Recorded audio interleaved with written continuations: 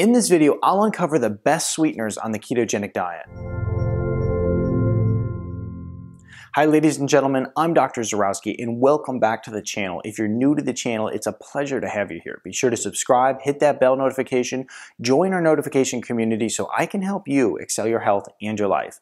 In this video, we're talking about the best sweeteners for the keto diet. You know, this is an important topic simply because a lot of people are turning to, you know, sweeteners that aren't good for the ketogenic diet, but also sweeteners that technically are zero calorie, but are also a little bit toxic in nature, and so we don't want to be consuming those. So anyway, we're going to straighten this out in this video. We're going to talk about some of the best ones to use, and of course, the ones that you need to stay away from.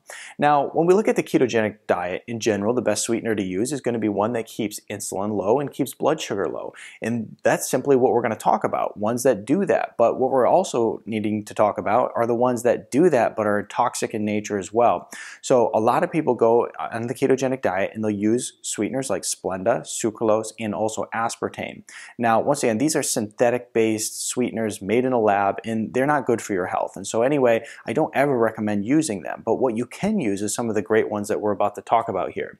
First on our list is stevia and monk fruit. Now, stevia is a great sweetener along with monk fruit. Stevia has an antibacterial and antifungal property to it, and stevia and monk fruit both have an anti-inflammatory property as well. And see, you can see here that you know we're looking at whole food derived um, sweeteners that actually offer some health benefits. So anti-inflammatory, they actually have a good nutrient density that they carry. Um, once again, they're whole food derived. Um, they promote weight loss because they're keeping that insulin and blood sugar low, and they're also good for the gut. Okay, that's important as well because you know they're good for the gut. They support the microbiome. Now, when we look at stevia monk fruit, it has a taste to it, it has a flavor to it, an aftertaste, whatever you want to call it. And some people don't like that. So some people like to shy away from them and use more erythritol. Now, erythritol and xylitol are both sugar alcohols.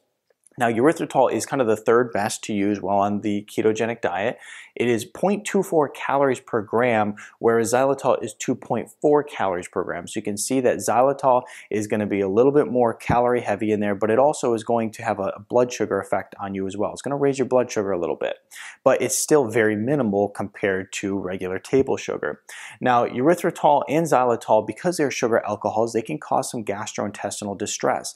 I've had patients that I've worked with that literally can eat tons of this stuff and it doesn't seem to bother them, whereas some people even come close to it. I mean, if it's just the smallest trace in their food, what they'll find is that they're running to the bathroom and once again, lots of gastrointestinal distress. So anyway, erythritol is a little bit better than xylitol here, but they're both sugar alcohols and they should be always used in moderation. You know, some people, like I said, can get away with using quite a bit of it, but once again, everything in moderation. And you can even buy blends. You can buy like erythritol and xylitol blends. You can buy like monk fruit and erythritol blends. And so when you buy these blends, it sometimes make it makes it a little bit better to utilize them because you're not just getting, you know, all monk fruit, which is going to have a flavor to it, or maybe all erythritol that, you know, doesn't have the flavor, but it's a sugar alcohol and causes the distress. So anyway, what I'll try to do is find some different blends and we can put them in the description here below. So anyway, when we look at these different sweeteners for the ketogenic diet, be sure to make sure you're staying away from the toxic ones like the sucralose, aspartame, and Splenda,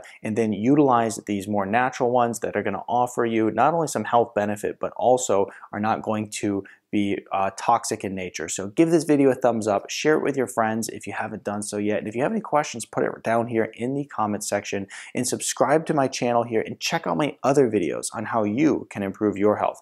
I'll see you in the next video.